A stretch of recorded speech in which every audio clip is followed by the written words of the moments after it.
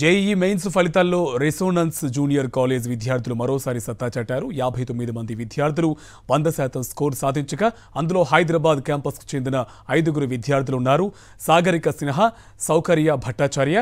అలాగే యశ్వర్ధన్ సింగ్ తొంభై తొమ్మిది పాయింట్ తొమ్మిది తొమ్మిది శాతం మార్కులు సాధించారు ఫిజిక్స్ కెమిస్ట్రీలో వంద శాతం మార్కులు సాధించిన పల్లె హరిచరణ్ రెడ్డి అలాగే సృజన్ రెడ్డి సోమశ్రీ వేద శ్రాయి శ్రీరంగ చరణ్ స్టూడెంట్స్ విద్యార్థులు చైర్మన్ పూర్ణచంద్రరావు అభినందించారు స్టూడెంట్స్ అభిరుచులకు అనుగుణంగా విద్య బోధన చేయడం ద్వారా మెరుగైన ఫలితాలు సాధించమన్నారు ఇందుకోసం కృషి చేసిన అధ్యాపకులను అభినందించారు